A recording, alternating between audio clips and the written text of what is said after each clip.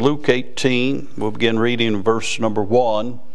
The Bible says, And he spake a parable unto them to this end, that men ought always to pray and not to faint, saying, There was in a city a judge, which feared not God, neither regarded man.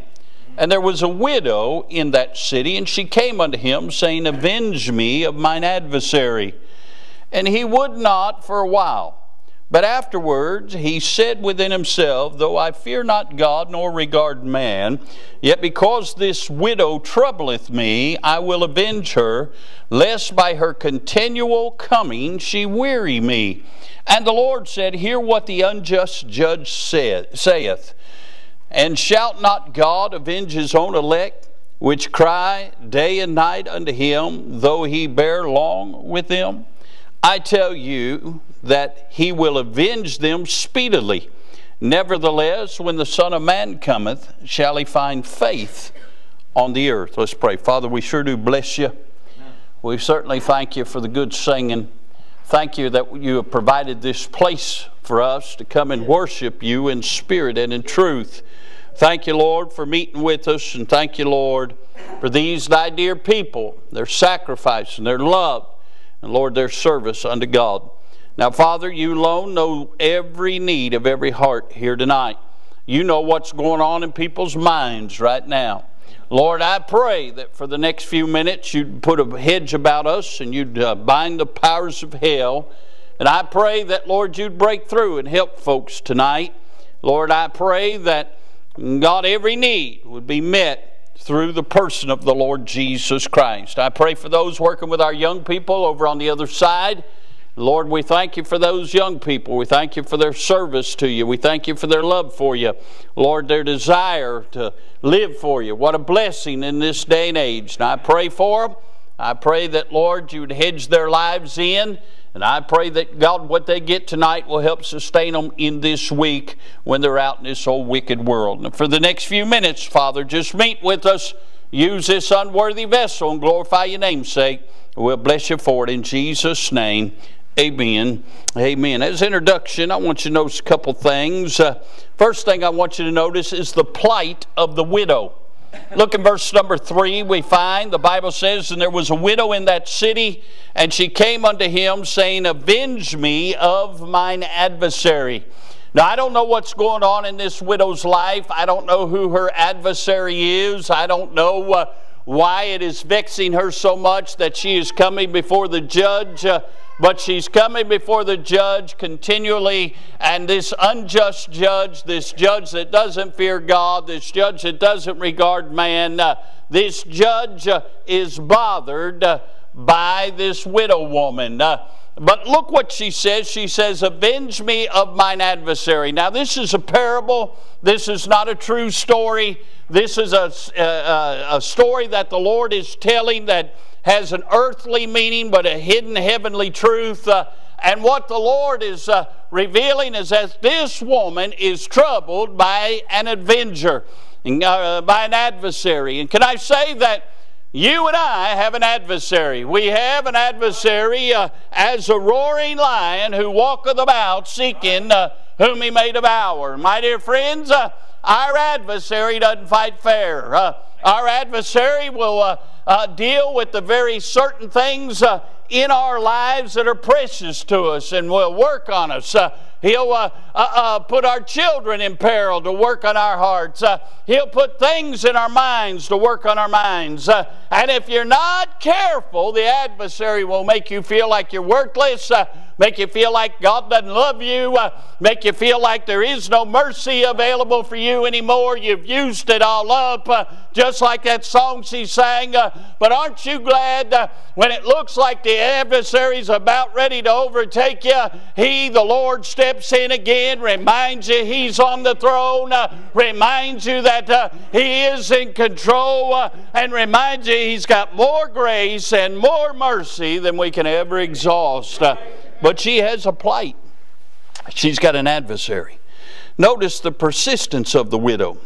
Verse number four, the judge says, uh, and he would not for a while, but afterward, uh, afterward he said within himself, Though I fear not God, nor regard man, yet because this widow troubleth me, uh, I will avenge her, lest uh, by her continually coming she weary me. Uh, notice uh, this widow woman just kept coming before him in this parable until the judge got tired of looking at her.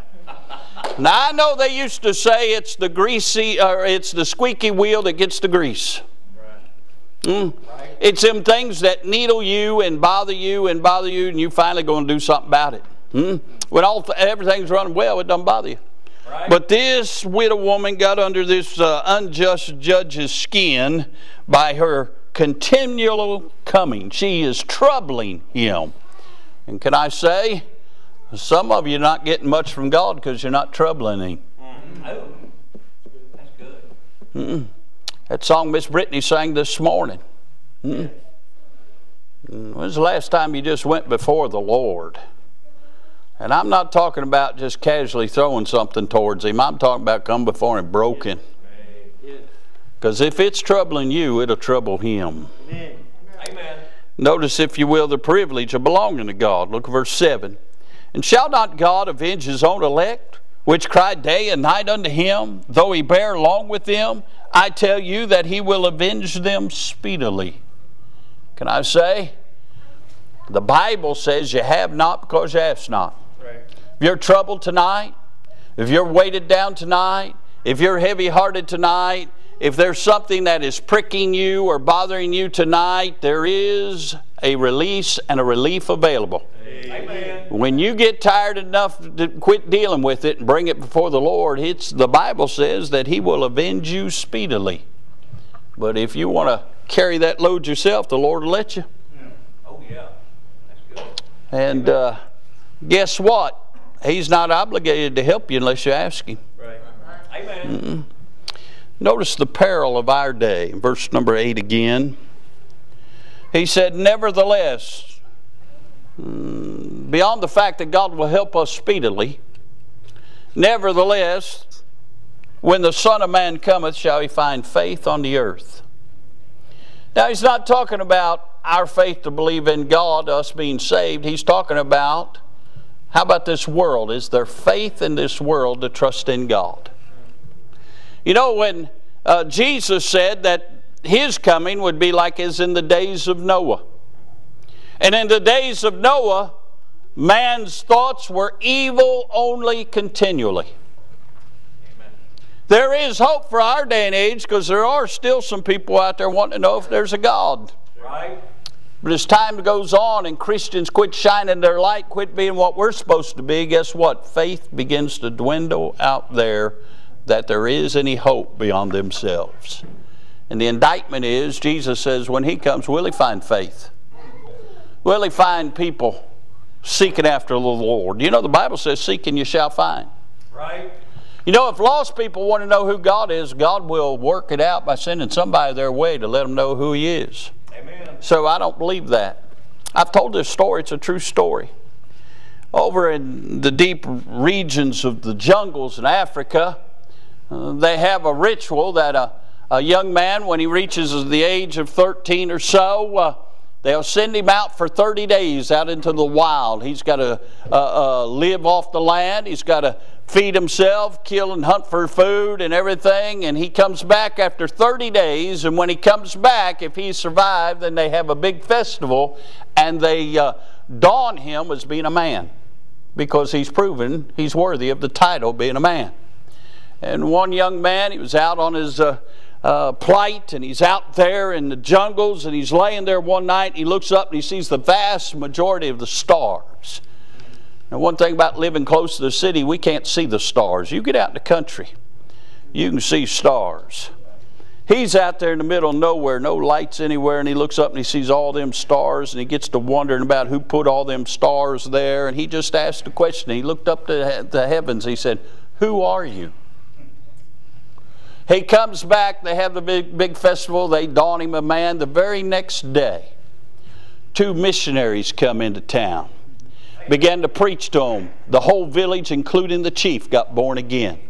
That young man wanted to know who God was, so God sent the answer. Amen. Can I say, Seek and ye shall find? Uh, save people, shame on us for. Uh, uh, uh, not uh, tapping into the Lord and asking the Lord and having the Lord show us our needs. Uh, but can I say, even in this wicked old world, if there's somebody out there who wants to know Him, God will send somebody by their way uh, to show them who He is. Uh, now, notice the point to be taken from all this. Look at verse number one. And he spake a parable unto them to this end, that men ought always to pray and not to faint. My dear friends, we're to always to have an attitude of prayer. Amen. And we're not to faint in our prayer life. God help us. It's amazing. The most powerful thing known to man is prayer. Amen. And the most neglected thing in God's people's lives is prayer. He said men ought always to pray and not to faint. And I want to preach with God's help on this thought tonight. I want to preach on what will keep us from fainting. What will keep us from fainting. The Bible says in 2 Corinthians 4 1, Therefore, seeing we have this ministry, as we have received mercy, we faint not. Galatians 6 9 says, And let us not be weary in well doing, for in due season we shall reap if we faint not. Can I say that a lot of times we apply that verse as being weary in body, being tired. And I know we live in a sleepless society and we all wish we had another 12 hours in a day. If we did, we'd still use it up for something. We'd still be tired. We'd still be weary. We'd still be worn out. Some of you look like your mother in law moved in with you for the last two weeks because you look pretty wore out tonight, huh? But can I say that it does apply physically, but more importantly, uh, we're wearied in our minds. Yeah, right. Our minds never rest. Uh, and we constantly are dealing with things in our minds, and we uh, allow our minds to be wearied, and that keeps us from praying. That causes us Amen. to faint. Again, it says, Let us not be weary in well doing, for in due season we shall reap if we faint not. You know why a lot of people aren't reaping blessings? They've fainted. Yeah. Hmm? Amen. God help us not to faint. We shall reap if we faint not. So, what will keep us from fainting? Got to think about this the other day. The Lord gave me this thought the other day for I knew He was heading out of town, so the Lord gave me this thought before I headed out of town. What will keep us from fainting? Can I say the first thing that will keep us from fainting is a fresh glimpse of Calvary. When was the last time you and your mind went to Calvary? When was the last mind uh, you saw the darling Son of God suspended between heaven and earth, uh, bleeding and dying for your sin, uh, for my sin? Uh, when was the last time uh, you saw him beat beyond recognition? When was the last time uh, you saw him plucking his beard from his face? when was the last time you saw his head platted with a crown of thorns? when was the last time you saw evil men clearing their throats and spitting on the Son of God. Uh, when was the last time you saw evil men mocking him uh, and cussing him? Uh, when was the last time uh, you saw him look up to heaven and say, My God, my God, why hast thou forsaken me? Uh, uh, hey, the Father and the Son broke fellowship so you and I could have fellowship with the Son. when was the last time you saw what Jesus went through to extend you grace, to extend you mercy, to extend you forgiveness of sins, uh, to robe you in His righteousness, uh, to make you an heir to the throne of God, uh, uh to allow you to be adopted into the family of God. Uh, had it not been what Jesus did on Calvary, uh, we'd be lost. we'd have no hope. we wouldn't be in church tonight. we'd be out worshiping some devil thing. hey, what a blessing to be saved. it's hard to faint when you got your mind on Calvary and what Jesus done for you and I. When was the last time you thought about Calvary? Hmm. When you want to quit, if you look at Calvary, you can't quit. Right? I've told this story, but I'm getting old and I don't remember when I told it, so I'm going to tell it again. You know what I'm talking about, Phil.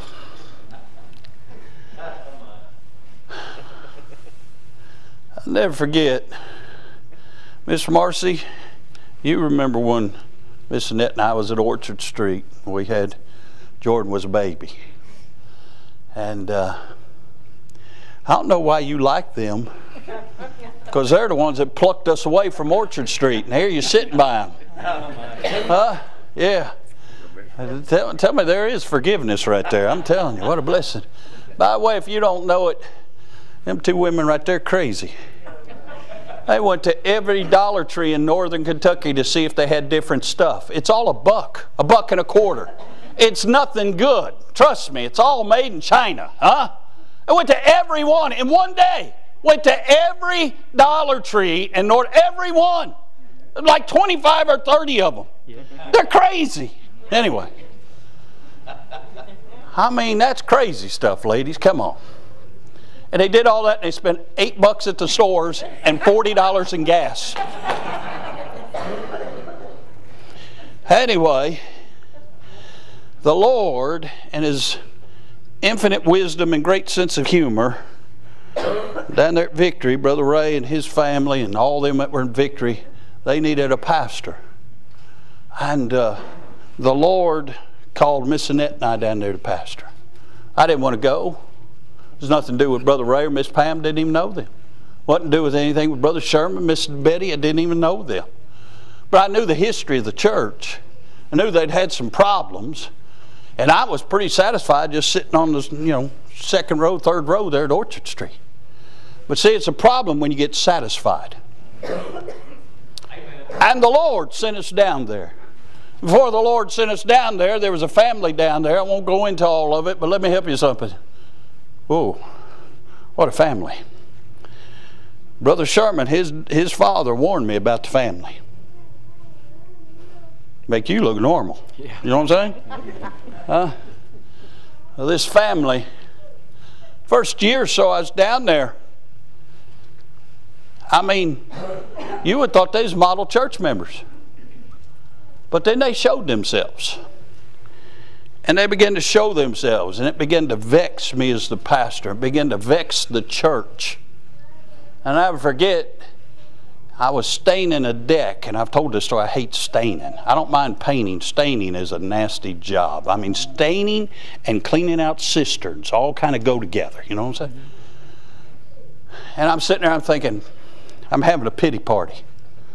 I'm thinking about the job I'd left, thinking about what I'd put my family through driving down there to Owenton every every week and all that we was doing. I'm out staining when I used to sit behind a desk with a shirt and tie on. And I'm thinking oh, I'm having a pity party. Thinking about all that's going on in the church and all that's. And Brother Ron, I, I can very distinctly remember asking the Lord, Do you want me to quit? And I didn't hardly get it out of my mouth. And Brother Bob, he said, Did I quit on the way to Calvary? He said, What'd you do, preacher? I got to stain in that deck. I said, I'm sorry, Lord. I'm sorry. I got that deck done quick. And I'm sorry, Lord. And the Lord kept me from fainting Amen. because of Calvary. Amen. And I say, when you get a glimpse of Calvary, you won't want to quit. You won't want to stop. You won't want to stay where you are. You'll want to honor the Lord with your life. Right. Talk about what will keep us from fainting. A fresh glimpse of Calvary. Can I say it's been mentioned all day today? What will keep us from fainting is a faithful prayer life. A faithful prayer life. The book of Jude, verse 20 says, But ye, beloved, building up yourselves on your most holy faith, praying in the Holy Ghost if we will build ourselves up in faith and we will pray through the Spirit of God, uh, my dear friends, you won't faint. These little now, I'd lay me down the, the, sleep prayers, and you pray something that you half heartedly even are in, into when you're praying it, and the Lord doesn't uh, open the Red Sea of your life and perform a miracle in the next 10 minutes, uh, and you get so discouraged you're ready to throw in the town quit. That's not what we're talking about. We're talking about building yourself up in faith. How do you build yourself up in faith? So then faith comes by hearing, hearing by the Word of God. You get in the Bible. You get to listening to preaching. Uh, you get to applying preaching to your life. Uh, uh, you get to your faith increasing. Then you get into where you plug into the Spirit of God. Uh, uh, uh, that Romans 8 type of praying, where you get to the point where you've run out of words and the Holy Spirit takes what's in your heart and He intercedes and goes to the throne. I'm talking about faithful praying that touches the heart of God. Amen. You ever see a little child at a toy store wanting everything in the store, and mama went there to buy something for somebody else, and that child, I want this, I want that, I want this, I want that. Mama never hears that. But in the middle of the night, that child breaks out with a cry because something's hurting. Mama's right there. She can't but hear that. Can I say, a lot of our prayer life is just annoying God. When we get to where we plug into God and our prayer life honors God, He'll hear what's really in our hearts. I want you to know something about this woman's prayer. Notice this widow's prayer in verse number three. It said, Avenge me of mine adversary. Can I say that her prayer is not eloquent? I didn't see any these and thous and impressive words there. Can I say it's not elaborate? She don't go into a whole lot of details. And it's not elongated. It's only five words. Can I say little little's much when God's in it? You don't need to grab the horns of the altar and stay there for three weeks to get God's attention. You just got to be where God wants you to be and offer up your heart to God. She got to the point and God answered. By the way, when Elijah prayed down fire from heaven, it was only 60 something words. Hmm? God help us to realize that a faithful prayer life, full of faith that honors God, will keep you from fainting. I promise you, every person who faints in the walk of faith does not have a good prayer life. Hmm? It amazes me, Brother Tony, Folks will call and complain to others, but they won't talk to God about it. Amen. Hmm. Hmm. Amen. Can I say this, Brother Donald? He knows what you have need of before you do. Right. right. What he wants us to do, Brother Seth, is recognize the need and recognizes he's the only one that can help us. Yes. That's what God wants. God wants us to come before him and say, Lord, you know this better than me, but Lord, I just figured this out, and what I need you. And when we become honest before God, God will speak. But can I say, when you got a faithful prayer life, you won't faint. You got a fresh glimpse of Calvary in your mind, you won't faint. Can I say, thirdly, when we focus on Jesus, we won't faint. Can I say, everybody that faints, their focus is on themselves. I've got this problem, I've got that problem, this is going on in my life, that's going on in my life. God don't care, God don't have enough mercy, God doesn't have, it's all about me. Yeah. Well, listen, there's nobody came in this building to worship you. Right. right. We come to worship the Lord. Yeah. But see, your focus isn't right, and that's why you have a problem. That's why you're about ready to faint. Because your focus isn't right. My Sunday school class knows this verse well. We've been teaching on it the last couple of weeks. Hebrews 12:3 says, "For consider him that endured such contradiction of sinners against himself, lest you be wearied and faint in your mind." That word, uh, contradiction, means direct opposition. Jesus was directly opposed by people who were full of the devil Yet he still went to the cross for the joy that was set before him because he knew that was the only way you and I could be saved. Right. And when we consider all that he went through and we focus on him, guess what? We won't faint. Amen. We won't faint. Right. We won't become wearied. When we see how much Jesus loved us, we will not faint. But when you're focusing on Jesus, you're going to faint. Hmm? Hmm? Hmm. Can I say that they say the hardest thing in sports is not driving a golf ball 300 yards, although I wish I could drive a golf ball consistently 300 yards. I can drive one 300 yards if I got a good wind behind me and it hits nice hard ground and rolls a long ways. Huh?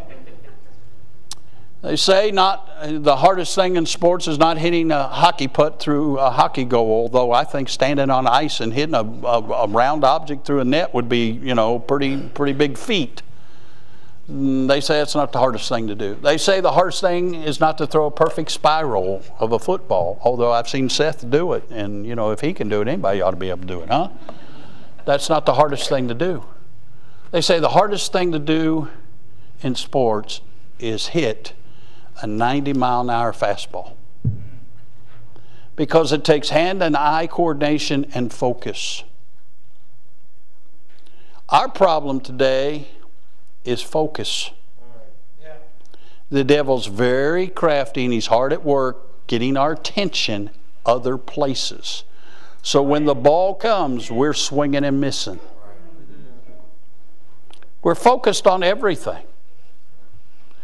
I'm sick and tired of election ads, but we're focused on an election. And to be honest with you, our country is in the balance over this election. This one goes wrong, we'll never have America back. Listen, I was just in Michigan. I'm talking about as far away from culture as you and I would think. I'm talking about we're not near D.C., it's not near a big city. I was in the middle of nowhere, and all I saw was immigrants. They're so thick up there that the lawyers actually have advertising on their law firm buildings that they're immigration lawyers. Why do they need that many immigration lawyers in Michigan? Because they're trying to throw the election. They're trying to get these people citizenship so they can vote. I'm talking about I was wondering if I was not, I made a wrong turn. I wasn't north. I didn't think I was near our northern border. I thought I was near our southern border. I mean, it was bad. Hmm, here they are, and none of them can drive. Hmm. And I, am going to have to apologize to our local politicians and all the roundabouts. You ought to see up there. Up there, you turn right onto a four lane road. To go a quarter of a mile, and you got to get in the far left lane so you can do a U turn to make a left turn where you first of all could just make a left turn at a light. But they don't do that. You got to go and put yourself in peril to do a U turn to go left. I've never seen anything like it. But I guess that's how immigrants drive mm-hmm. because they're crazy. What I'm saying is, boy, you get to thinking about all that's at stake for our country. We can lose our focus. We're supposed to have our minds on our heavenly country. Right. Yeah. And all the folks that aren't going to be citizens over there Amen. if we don't start sharing the gospel. Amen. Hmm, can I say we focus on our jobs and you ought to focus on your job. You ought to do a good job on your job. And while you're at your job, you ought to work. Because the Bible said man doesn't work, he shouldn't eat. You shouldn't be a bum on your job. Amen. Huh? We, we focus on our jobs. There's nothing wrong with that, but sometimes we bring the job home. We're not focusing on the Lord.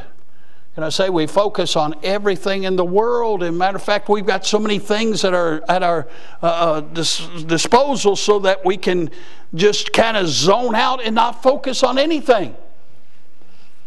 And the problem is, is we're fainting because we don't take time to focus on Jesus. I'm trying to help you, what to keep you from fainting.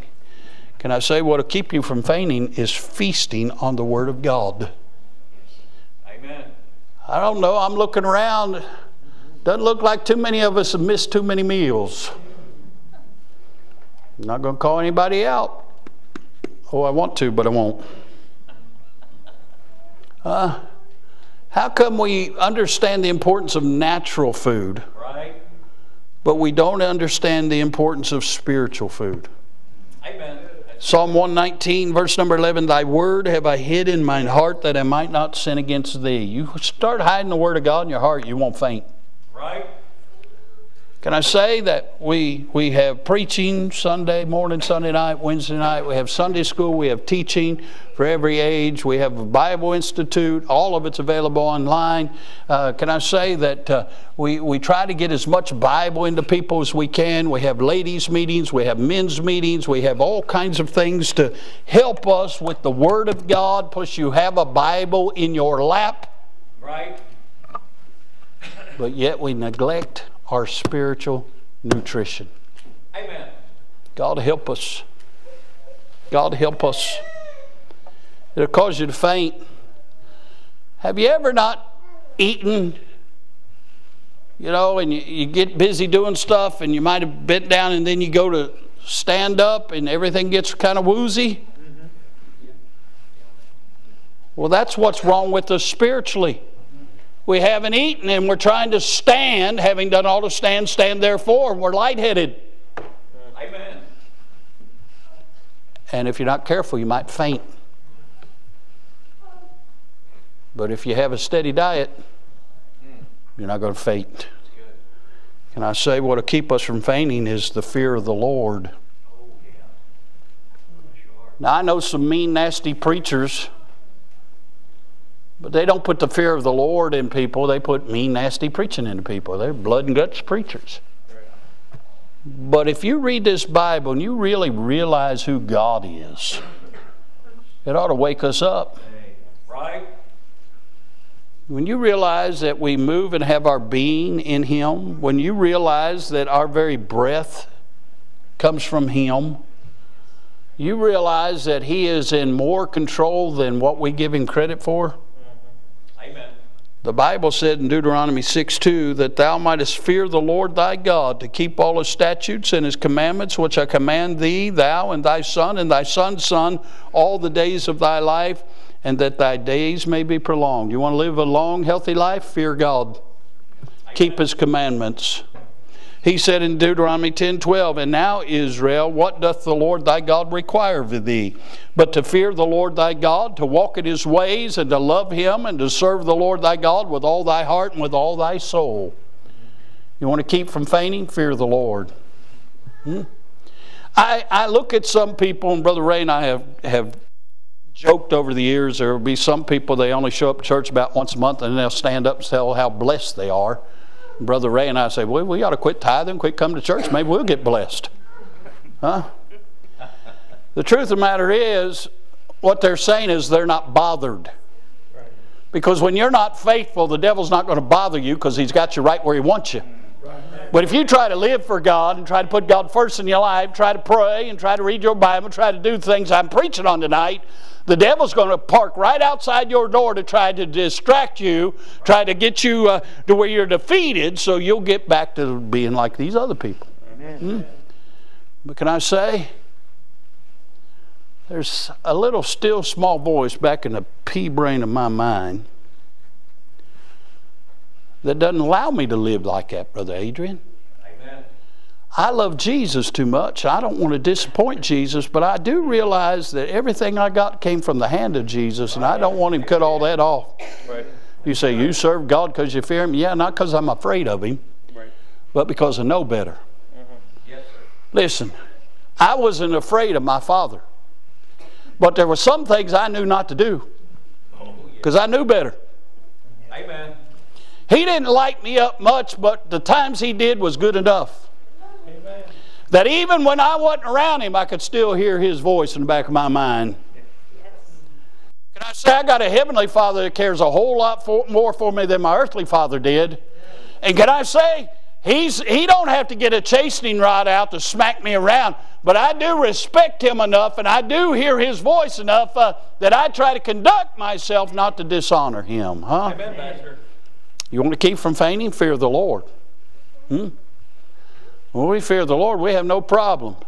Reading the Bible, praying and talking to the Lord, listening to the right kind of music, uh, uh, uh, being around the right kind of folks, having the right kind of fellowship. We have no problem with all that when we fear the Lord. You know the crowd that always gives the preacher problem? They sit there and they nod their head when he's preaching, but when they're away from him, they don't fear the Lord. They don't fear the man of God. They don't fear the house of God. They live however they want to. And then they'll thumb their nose up at the things of God. That vexes the preacher. I can't imagine how much that vexes God. But listen, God's not mocked. Whatsoever man soweth, that shall he also reap. Amen. You, you'll, you'll really keep from fainting when you really get serious about the things of God. Let me say this lastly. this last point's going to be over two hours now to keep up with my two hours and 30 minutes, all right? What will keep us from fainting? The flames of hell. I'm not going to hell, but there's a lot of people around me that are. Right? And I might be the only thing standing in their way from going to hell. Amen. And people dying and going to hell ought to keep me from fainting. Hmm? Amen. Listen, just like America, I believe this is the final stand. Yeah. Amen. And I really don't think it's close. Matter of fact, the only way that she'll be installed into the presidency is if they steal it. But I don't even know how they can do that this time. Too many people's eyes are open. But I think this is the final stand. And by the way, if we just put in Trump, that is not going to save America. They got to do the Senate and the House, and they got to put people in there that aren't snakes like some of the people in there that call themselves conservatives. But can I say, more importantly than that, this is the last stand for Christians.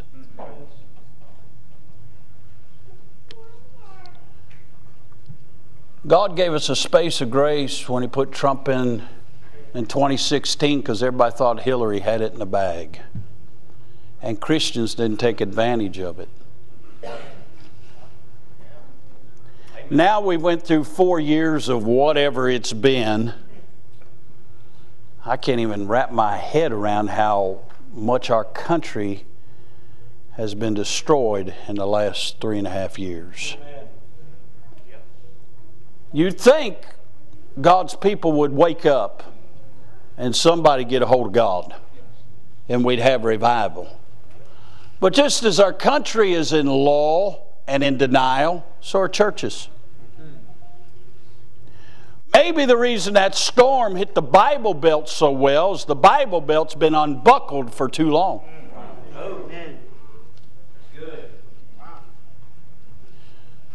We've got preachers that have more faith in Trump than they do God. Right? God don't share his glory with anybody. Amen. And I still read in the scriptures it's God who sets up kings Amen. and people in authority. It's also God that sends revival. Yeah. And nothing to bring revival more than us getting a burden for people dying and going to hell. Amen. The flames of hell ought to keep us from fainting. Too many people are dying and going to hell. I remember years ago I read a statistic that every hour 6,500 people go out into eternity. Vast majority of them die and go to hell.